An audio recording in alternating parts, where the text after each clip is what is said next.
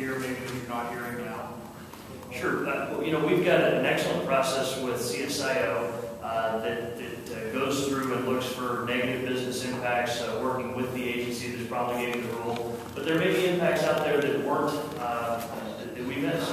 Uh, And who better to tell us how a rule could impact his or her business than someone that's in that business on a daily basis? What I would like to see is someone that runs a trucking company or someone that runs a a dentist office um, being aware of rules that are coming down the line, maybe emailing it over to his or her legal counsel, say, hey, take a look at this and let me know how this can impact our business. And by doing that, they can get back to us and say, hey, you guys may not have thought of this, but this is going to cause me to have to lay off two of my employees, or this is going to uh, put me in a position where I may have to close up my, my, my business or drastically change the way I operate. That's the kind of feedback that, that we hope to get.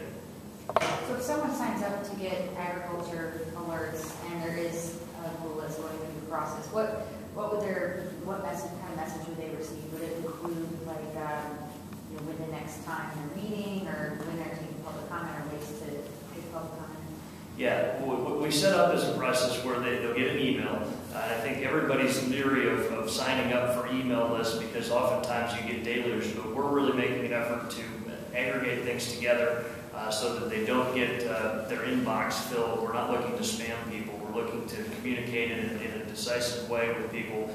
Uh, and so they would get the text of the rule uh, as well as uh, the ability to find out when public comment periods would be, um, ways to contact that agency directly and get involved.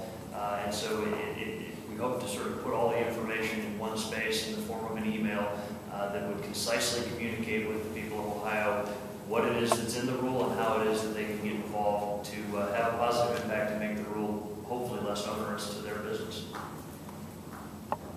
Representative Rivera, as, as a J-CAR chair, you expect more lengthy J-CAR hearings? Well, uh, Marcus, as you know, uh, a good J-CAR chair tries to take care of all the business before the actual meeting occurs. Uh, And so uh, what I would hope that would occur is that we're giving another portal for uh, Ohioans to become involved in the regulatory uh, rule process. And clearly, uh, the earlier one gets involved, the better uh, impact and perhaps outcome they may have, as opposed to just calling up an hour before the J-CAR meeting to say you don't like a rule, which is no happen. Uh, But this way, it's, it's a way that, as Senator LaRose said, you know, people who have specific concerns about areas of regulatory uh, impact can tailor the information so they receive information that's pertinent to them.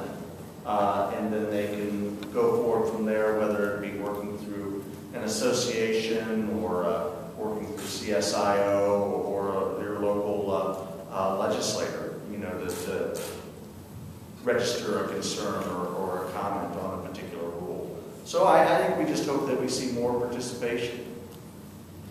Ross mentioned a phenomenon that last year's J-Car chair I called the Monday morning J-Car fire, uh, which was something that we're hoping to prevent through this, right? That's when, uh, when people find out about something that's on the agenda that day for J-Car, and it's really, at that point, often too late to have much of an impact on trying to, to collaboratively uh, improve the rule.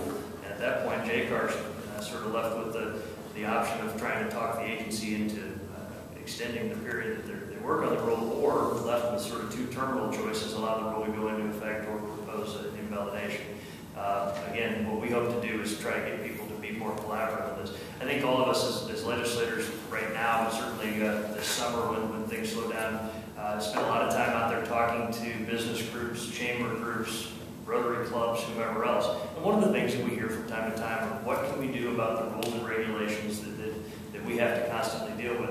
Uh, this will give us the ability to say, well, as a matter of fact, there is something, and it involves you getting involved personally, and, uh, and we can then uh, ask them to, to uh, sign up at rulewatchohio.gov uh, and try to get involved in the process, because again, we don't necessarily know how onerous or, or illogical perhaps a rule may be until the folks that actually have to deal with these rules point it out to us. And, and despite all the processes that we have in place to analyze rules, uh, which are robust and, and good, there's nothing better than hearing from the people that actually have to live with the rules and regulations, and that's what Rule Watch Ohio is all about. What's the turnaround time on the information as far as when an action occurs versus how quickly you would receive an email? I believe it happens basically in, in, in real time, uh, from the LIS perspective. The Uh, phone number was made today, and the email tomorrow, so it's always next business day. So it's essentially, uh, we don't want to be sending emails out constantly, but on a, on a sort of a, a cycle, when a new rule action is taken, uh, you can be updated essentially